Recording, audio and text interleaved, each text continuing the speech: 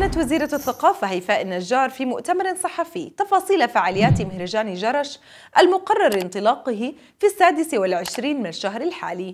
ويضم المهرجان في دورته الحالية نحو 400 فعالية فنية وثقافية محلية وعربية. يشارك بها عدد من الفنانين الأردنيين والعرب من بينهم عمر العبداللات ونجوى كرم وراغب علامة وهاني شاكر وحسين السلمان.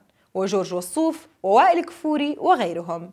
كما يشهد المهرجان أمسيات شعرية ونشاطات متنوعة بمشاركة جمعية الشابات المسيحيات في مادبة ومنتدى الفحيص الثقافي.